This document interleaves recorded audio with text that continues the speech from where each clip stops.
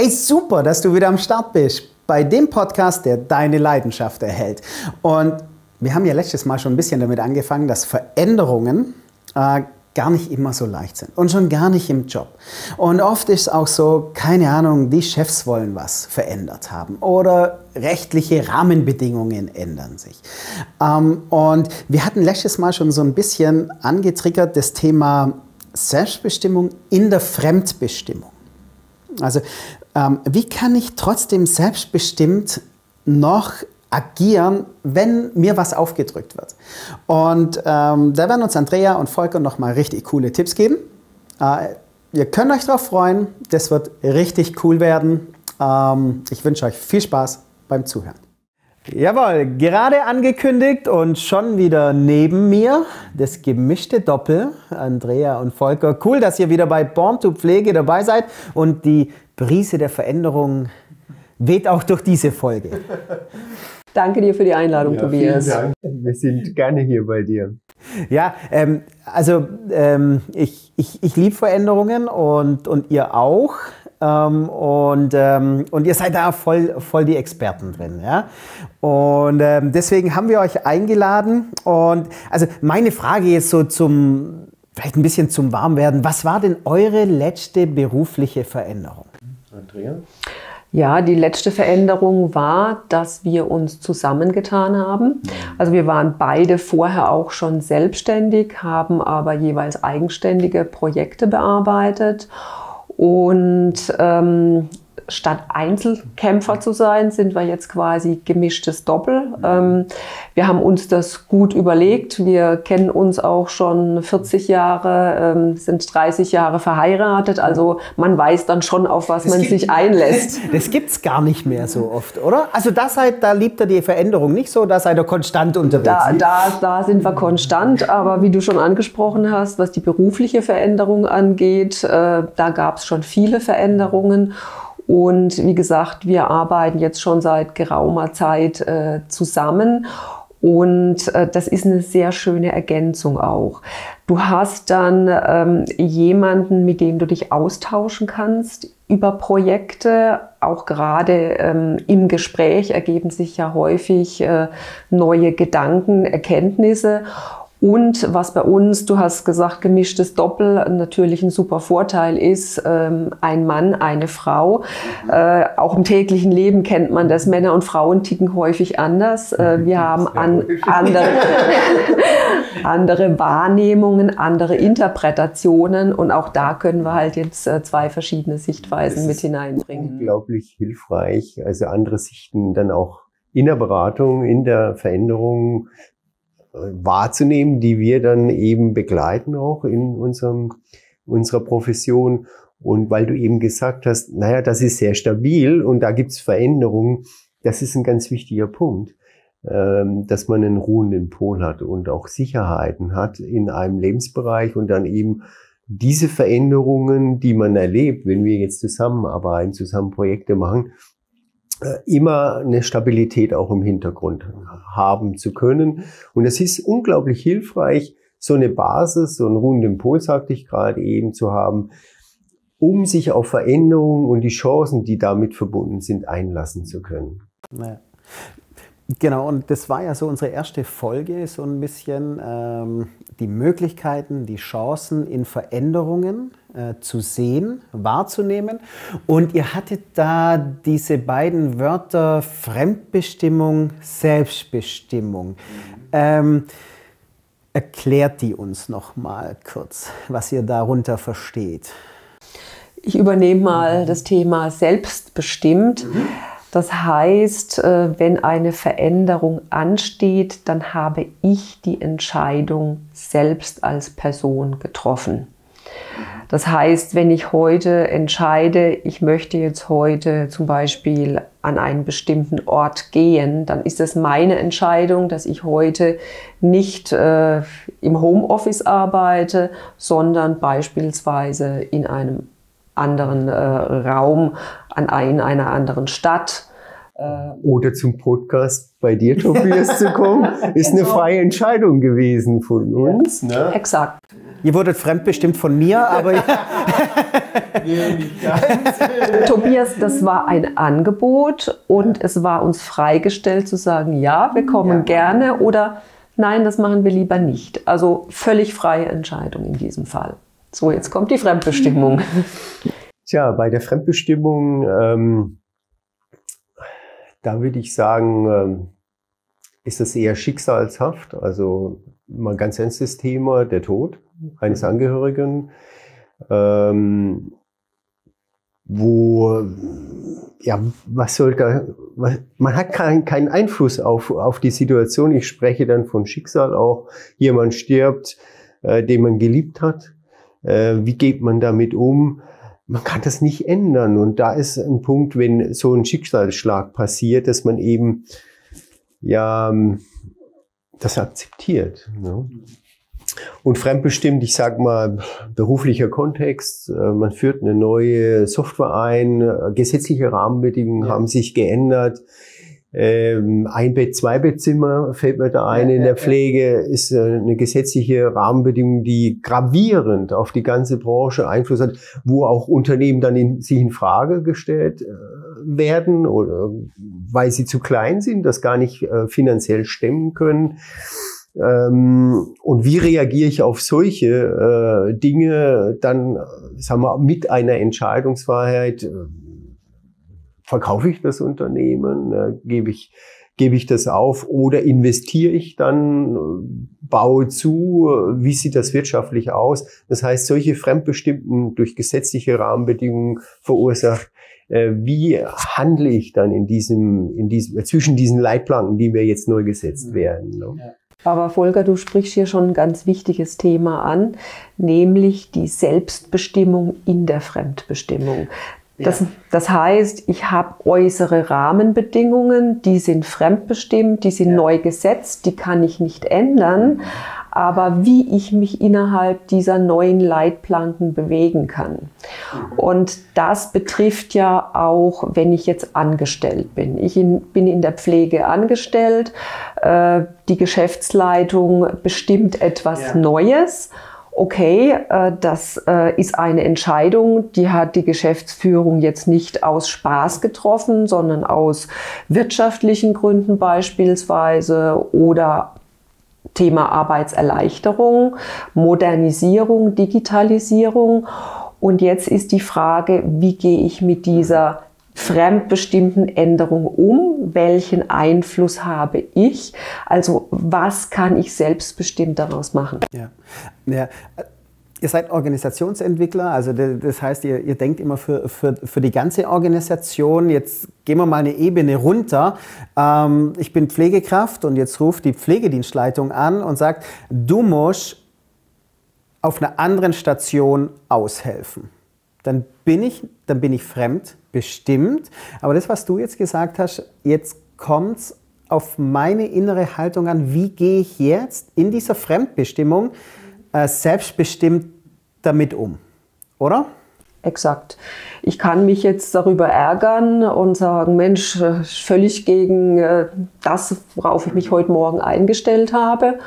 Oder ich kann es annehmen, es sind ein paar nette Kollegen in der anderen Abteilung, auch die sehe ich jetzt mal wieder und, und wenn wir die nicht dort sind, zusammen. Wenn ich weiß, oh Mann, das sind lauter Querköpfe, mit denen komme ich, mit denen komme ich nicht klar dann gibt es ein paar ganz nette Bewohner dort. Also ich werde einen Grund finden zu sagen, okay, das ist für heute, das ist für ein paar Stunden, ähm, das kriegen ja, wir hin. Das ist eine Akzeptanz. Das andere ist, ja. dass, dass man selbst als Betroffener sagen kann, okay, ich finde jetzt die Form, wie das rüberkam und dass ich da nicht mitbestimmen durfte, finde ich nicht in Ordnung. Ich suche mal nach einer Möglichkeit, ein Feedback zu geben. Ne? Ah, also, also, eine Rückmeldung ja, zu geben, ja. darüber zu sprechen, was Feedback bedeutet, ähm, ist vielleicht nicht jedem klar, eben ähm, hinzugehen und um Erlaubnis zu fragen, darf ich denn äh, eine Rückmeldung geben? Diese Fremdbestimmtheit an der Stelle, die hat mir ein schlechtes Gefühl verursacht, ich habe mich nicht wohlgefühlt. Ähm, darf ich das tun und dann eben auch konstruktiv zu sein. Das heißt zu sagen, so habe ich das wahrgenommen. Ich würde mir wünschen, dass das nächste Mal der Anruf nicht so autoritär bei mir ankommt, dass ich äh, meine Ideen einbringen kann. Es ist jetzt sehr konstruiert, weil es im konkreten Fall eben dann auch ganz klar, sagen wir, mit Argumenten hinterlegt sein muss. Ähm, ja, und dann ist das wieder eher etwas, was eigenbestimmt ist. Und ich sage, das ganze Leben ist, besteht fast aus eigenbestimmten Situationen. Mhm. Man hat sich ja auch mal entschieden, dort zu arbeiten. Das ist ja eine grundsätzliche mhm. Entscheidung, hat einen Arbeitsvertrag dann unterschrieben. Das war ja auch selbstbestimmt. Also die ja, Wahl ja. des Arbeitsplatzes. Ja. Ja.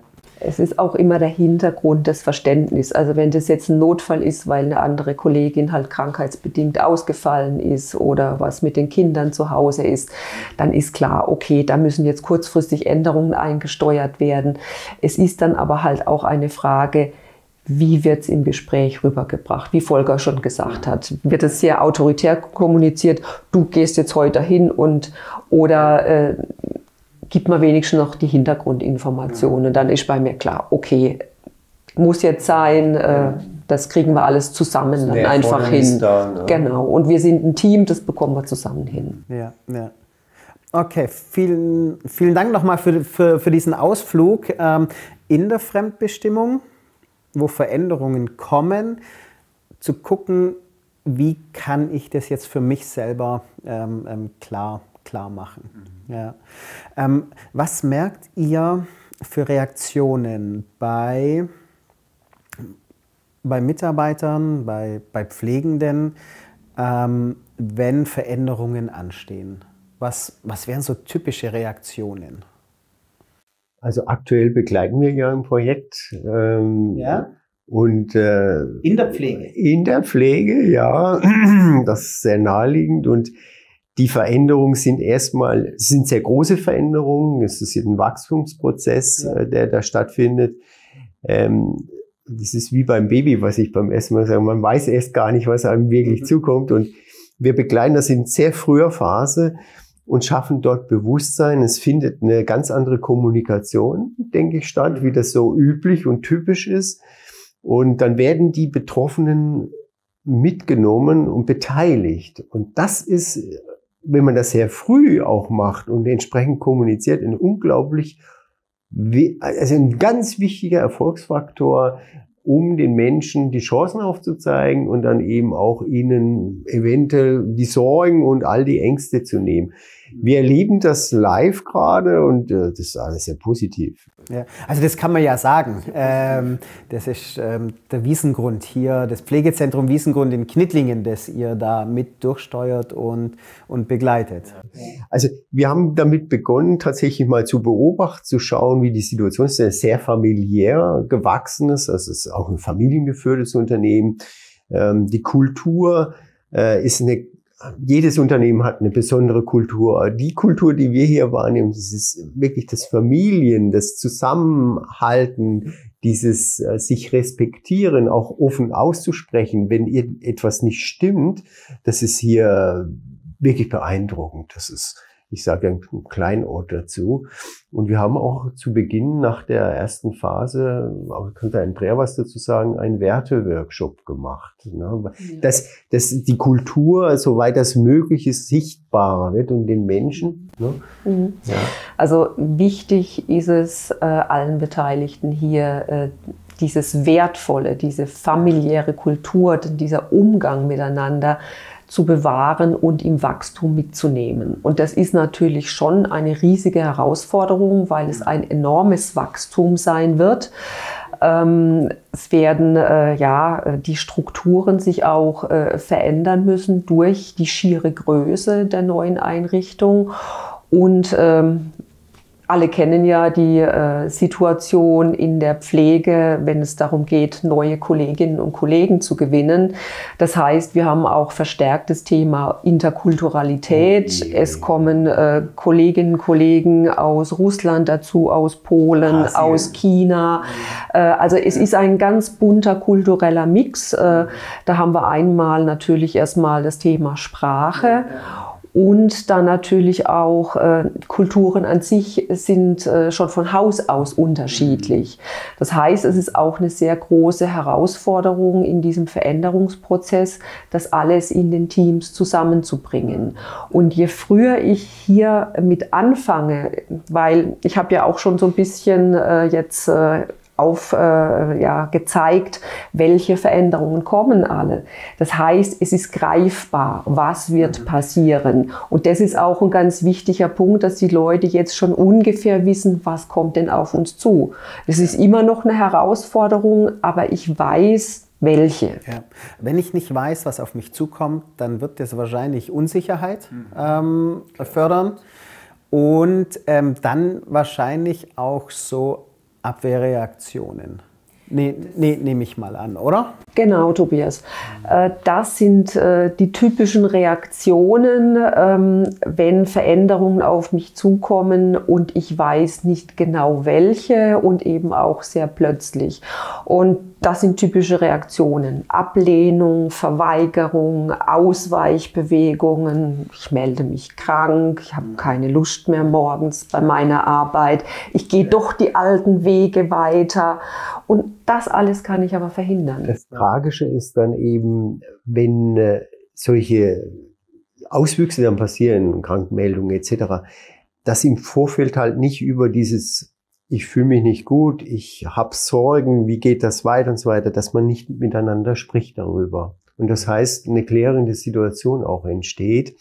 Und deswegen haben wir dann ähm, jetzt in diesem äh, Veränderungsprozess gesagt, das wäre doch ganz toll, wenn hier mehr Verständnis für Feedback, Rückmeldungen entsteht und äh, die Beteiligten, äh, sagen wir, es besser lernen. Das machen wir ja heute eh, Rückmeldung geben.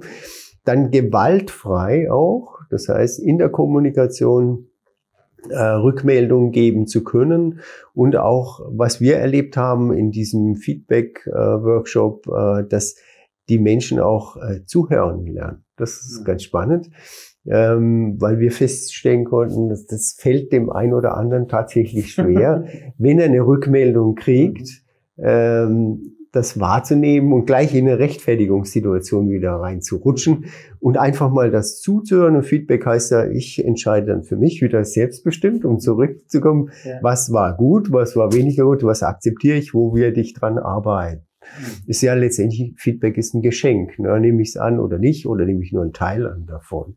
Ja, und ein wichtiger Punkt, ähm, mhm. der uns häufig auch nicht bewusst ist, ich kann ja auch eine positive Rückmeldung geben. Nichts also, geschwätzt, ich glaub genug, sagen die Schwaben.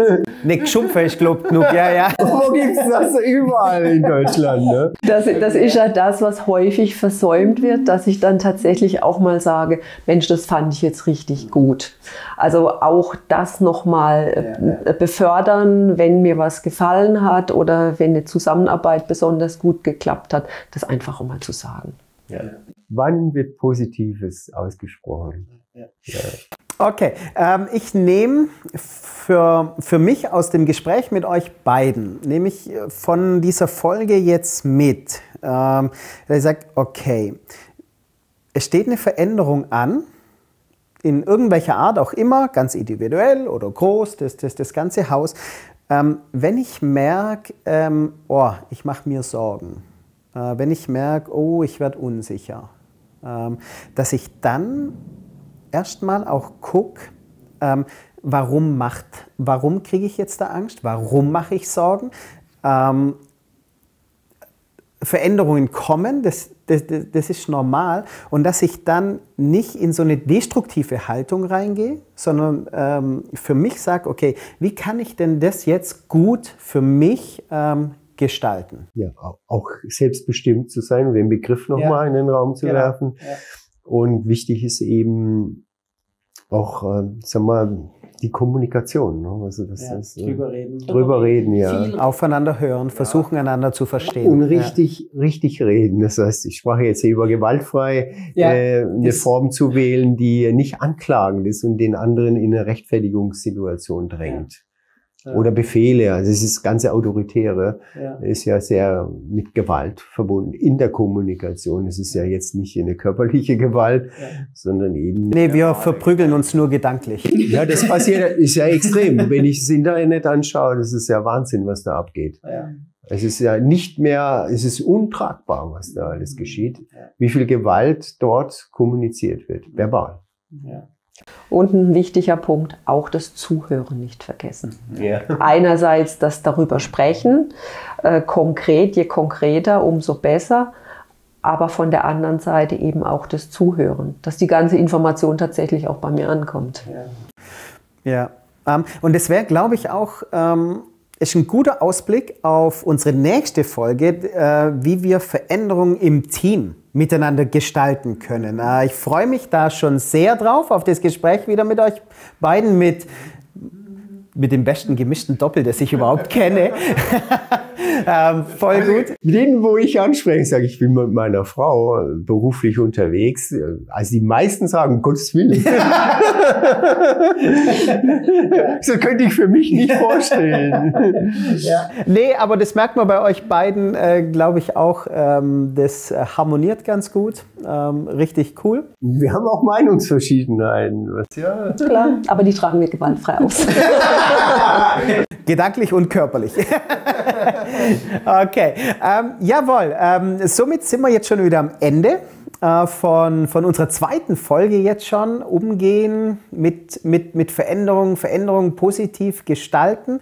Äh, super, dass ihr am Start seid und am Start wart und ihr könnt euch wirklich auf die nächste Folge freuen, nächsten Mittwoch wieder. Und noch ein Hinweis, wenn ihr die Folge cool fandet, ähm, wenn die euch geholfen hat, dann helft doch mit, dass noch andere Pflegende auch noch von Born to Pflege und den Themen, die wir so durchkauen, ähm, erfahren. Liked uns, bewertet uns mit fünf Sternen. Ähm, genau, dass einfach noch mehr, mehr davon erfahren. Äh, da würdet ihr uns sehr helfen. Hey, vielen Dank und bis nächsten Mittwoch. Ciao. Ciao. Zunächst einmal möchte ich mich ganz herzlich bei dir fürs Zuhören bedanken. Super, dass du wieder dabei warst. Und wenn dir der Podcast gefallen hat, hey, dann empfiehl Born to Pflege doch weiter. Hilf anderen Pflegekräften, dass sie auch wertvolle Tipps für ihre Arbeit bekommen. Teil den Podcast mit deinen Freunden. Bewerte uns mit 5 Sternen, like uns und erzähl allen deinen Kolleginnen und Kollegen vom Born to Pflege Podcast. Wir freuen uns auch über deine Anregungen, über die Kommentarfunktion. Und wenn du Themen hast, die dich brennend interessieren und zu denen du gern einen Input hören möchtest, hey, dann lass es uns wissen. Schreib uns eine E-Mail an feedback at borntopflege.de. Und wenn ihr noch mehr Infos haben möchtet, dann schaut doch einfach auf unserer Website vorbei, borntopflege.de. Wir hören uns wieder in der nächsten Folge. Bis dahin, Mach's gut und denk dran, du bist born to Pflege.